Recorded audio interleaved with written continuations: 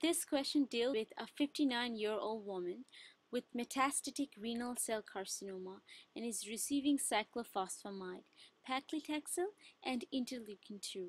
Which of the following is the reason for this for including IL-2 in the regimen? Now IL-2 what does it do? What is the function of IL-2? IL-2 is going to increase both helper and cytotoxic T cells. It stimulates the growth of both cytotoxic and helper T cells.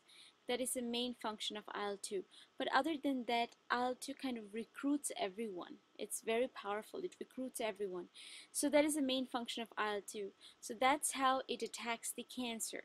Now the question is saying, which of the following is the reason for including IL-2 in the regimen? Why are we using IL-2? We're using to treat metastatic renal carcinoma.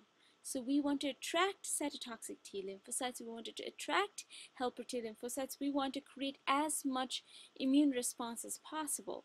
That would be the main function of IL-2. Now let's look at the option. A says decreasing bone marrow suppression. That has nothing to do with IL-2. Decreasing the likelihood of hemorrhagic cystitis, irrelevant. Decreasing the likelihood of peripheral neuropathy, irrelevant. Decreasing nausea and vomiting, absolutely irre irrelevant. In fact, this is a straight shooter. It's going to be choice E, stimulates T lymphocytes.